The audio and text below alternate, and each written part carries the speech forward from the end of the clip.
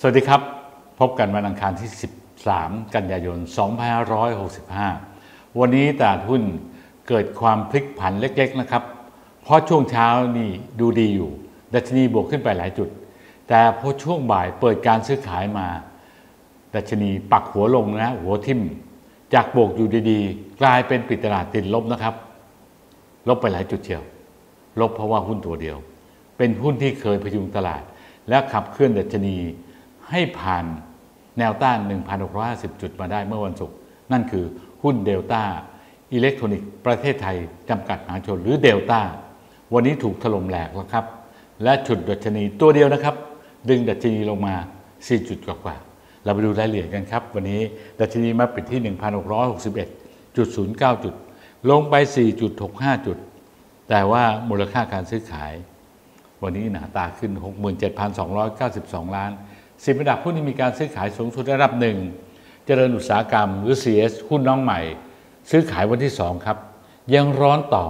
ปิดที่ 4 บาท 88 ขึ้นไป 74 สตางค์ 17.87%ข้อกันสนั่นหวันไหว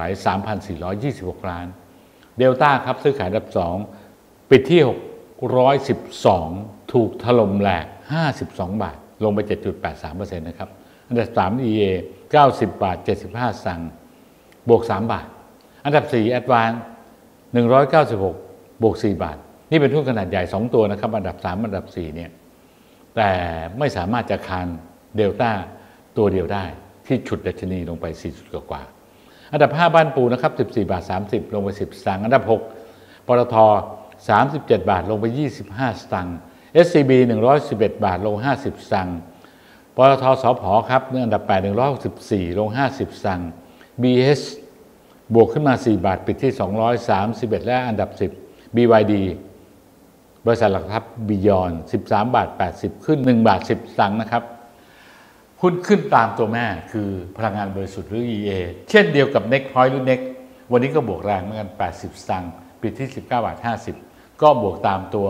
ตัวแม่ เราไปดูครับ นักการซื้อขายนักลงทุนรายกลุ่ม คนก็กลัวว่า เอ๊ะวันนี้ฝรั่งทุบหรือเปล่า จริง ๆนะครับ ขายอย่างที่กลัวกันแต่ไม่มากครับนิดหน่อยไม่มีนัยยะสำคัญ ขาย 500 กว่าล้าน เราเริ่มกันที่กองทุนนะครับ นักลงทุนสถาบันยังซื้อต่อ5 529 ล้าน บัญชีบริษัทหลักทรัพย์หรือพอร์ตโบรกเกอร์ ซื้อต่ออีกเหมือนกัน662ล้าน นักลงทุนต่างประเทศ 567 ล้านขายเช่นเดียวกับรายย่อยนะครับ ขาย 625 ล้าน ตลาดหุ้นเพื่อนบ้านย่านเอเชียไม่แตกต่างจากตลาดหุ้นไทย แกว่งตัวนะครับในกรอบแคบๆ บวกลบคละกันนะครับ อย่างที่นิกเคอินะครับตลาดหุ้นโตเกียว วันนี้ก็ 70 กว่าจุดนะครับฮั่งเส็งฮ่องกงลงไป 30 กว่าจุด และที่จีนบวก 17 จุด ฟิวเจอร์ดาวโจนส์บวกร้อยกว่าจุดครับ เป็นสัญญาณว่าคืนนี้อาจจะได้ลุ้นดาวโจนส์เดินหน้าต่อ และส่งผลจิตวิทยาในเชิงบวก ต่อตลาดหุ้นไทย แต่เราจะไปต่อได้หรือไม่ ก็ไม่ต้องคิดมากนะครับ วันนี้ต้องถือว่ายังไม่เข้าขั้นการพักฐานซะทีเดียวนะครับ เรียกว่าพักเหนื่อยพอจะได้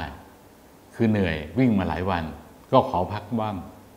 ถ้าดาวโจนไปต่อมีโอกาสไปต่อเหมือนกัน แต่นักลงทุนอย่าคิดบ้างนะครับ จะไปถึงไหนขึ้นช้างลงมาช่างหัวแล้ว ตอนนี้ปักหลักขายอย่างเดียว คิดอย่างเดียว หาจังหวะขายหุ้นราคาดีๆเท่านั้น เพราะเพดานด้านบนแคบความเสี่ยงเริ่มสูงขึ้น นี่เป็นคำเตือนของโบรกเกอร์นะครับ วันนี้เวลาหมดแล้วครับพรุ่งนี้ปิดตลาดมาพบกันใหม่ หวังว่าหุ้นจะสดใสต่อครับ